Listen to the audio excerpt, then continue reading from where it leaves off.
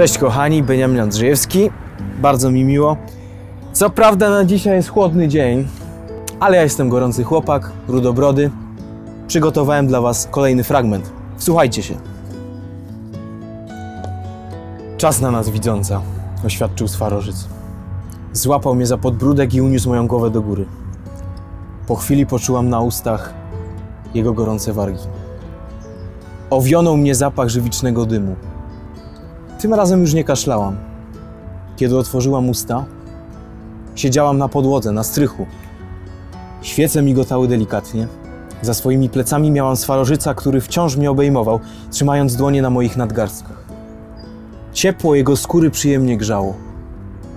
Zachęcało, żeby osunąć się w jego ramiona, by się w nie wtulić.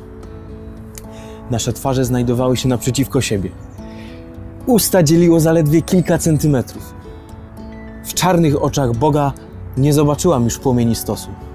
Widziałam tylko swoje odbicie. Odsuń się ode mnie, wycedziłam.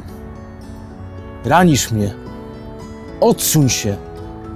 Posłusznie puścił moje dłonie i swobodnym krokiem obszedł wymalowany na ziemi krąg. To był, kochani, fragment z rozdziału 24. Niebawem widzimy się ponownie z kolejnym fragmentem, który dla Was przygotuję.